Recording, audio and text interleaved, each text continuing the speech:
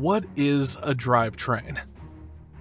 Let's start simple. A drivetrain is like the chain of command between a truck's engine and its wheels. It's what takes the power from the engine and delivers it to the ground, moving all that weight forward or backward. In semi trucks, which can weigh upwards of 80,000 pounds, that system has to be tough, smart, and reliable. You wouldn't use a tricycle to pull a freight train, right?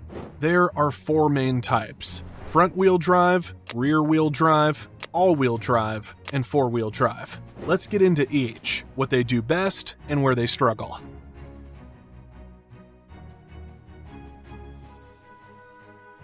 Front-wheel drive means the engine powers the front wheels. This setup is compact, cheaper to build, and offers good traction on slippery roads because the engine sits right over the drive wheels.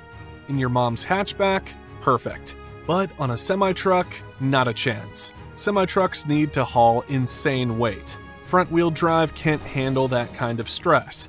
The front wheels would be overwhelmed, trying to both steer and pull 40 tons. It's like asking someone to drive and push a bus at the same time. So, yeah, front wheel drive and heavy duty trucking don't mix. You'll almost never see it.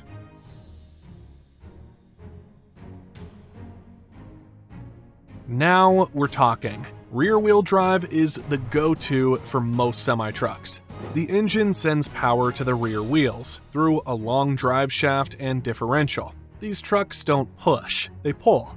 The back wheels take care of the heavy lifting, while the front wheels focus on steering. Why is this so good? Two words power and stability. When you're dragging a 40 foot trailer across the country, you want predictable control.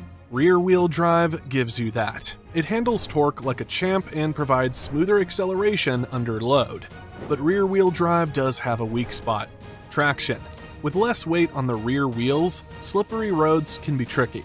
Ice and rain turn highways into skating rinks, and rear wheel drive trucks can lose grip if they're not loaded properly. So, while rear wheel drive is fantastic for dry pavement and hauling loads, it's not ideal for every condition.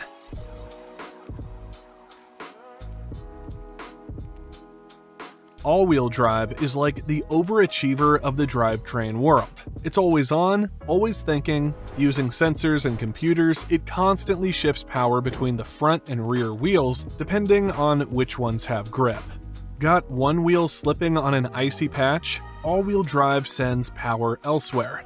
Rain, snow, gravel, all-wheel drive handles it all without you lifting a finger. It's common in crossovers and delivery trucks that face changing road conditions.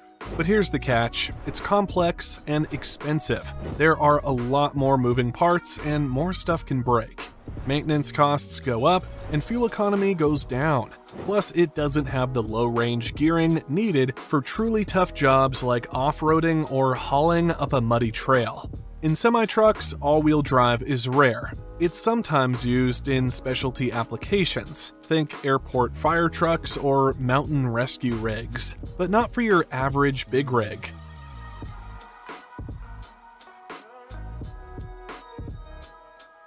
This is the tough guy in the room. Four wheel drive systems are built for extremes. They don't just automatically adjust power like all wheel drive, they let you decide when to unleash all four wheels. Most systems are part time, meaning you drive in rear wheel drive by default and switch to four wheel drive when things get gnarly.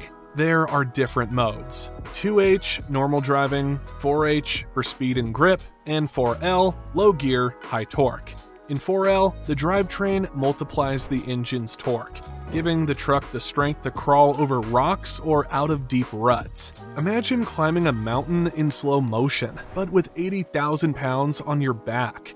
Four wheel drive also lets you use locking differentials. When things get really rough, like one wheel spinning in air and the other stuck in mud, locking diffs make sure both wheels spin together. No more wasted energy, just raw, brutal pull. But four wheel drive isn't without downsides. You can't use it all the time. On dry pavement, it can actually hurt your drivetrain because there's no room for wheel speed differences during turns. Also, it's heavy and complex, so again, it's not for every truck. But when you're off road or deep in the wild, nothing else will do.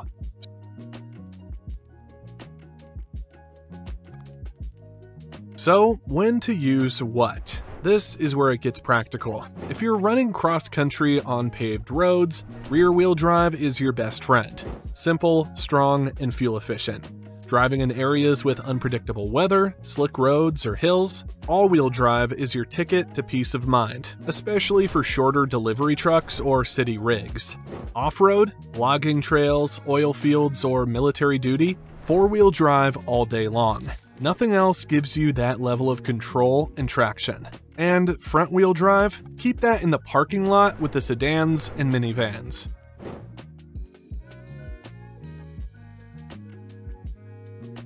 Different drivetrains mean different maintenance headaches.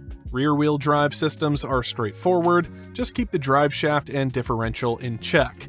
All wheel drive and four wheel drive, they need love. Transfer cases, multiple differentials, extra fluids, it's a list. And mismatched tires, that's a recipe for disaster, especially in all wheel drive or four wheel drive, where different tire sizes can damage the whole system. Also, weight matters. In front wheel drive vehicles, the front tires wear out fast. Rear wheel drive offers better balance under load. All wheel drive and four wheel drive systems need tire rotations more often to keep wear even. So, what's the verdict? Rear wheel drive wins for long haul trucking, no contest. It's strong, efficient, and reliable. All wheel drive is great for regional delivery trucks that deal with changing weather and terrain. Four wheel drive is the only choice for off road chaos. It's the big dog you can call when all else fails. Front wheel drive? Let's not even go there, unless you're hauling groceries instead of gravel. Now that you've cracked the code on drivetrains, don't stop here. Tap the next video popping up where we show how semi-trucks battle extreme weather without skipping a beat.